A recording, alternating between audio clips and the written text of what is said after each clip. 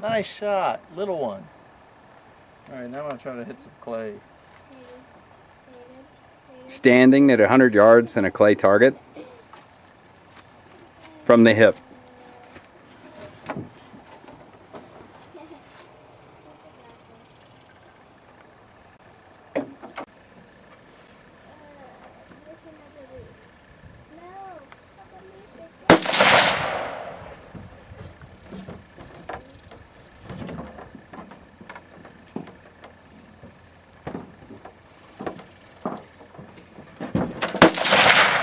Smoked it.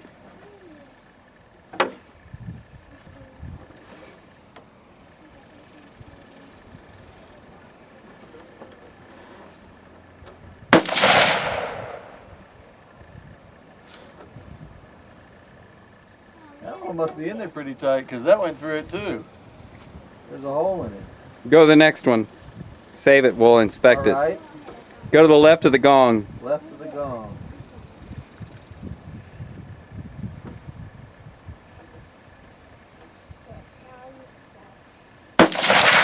Smoked it. Let me see another one. Get that one to the left of the gong.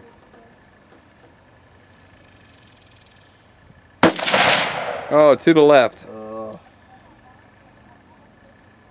Sorry for the shaking.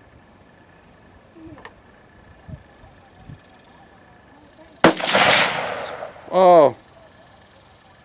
Is that, did you wing it? no, it's gone. I mean, there's just. Oh, you got a chunk out of it.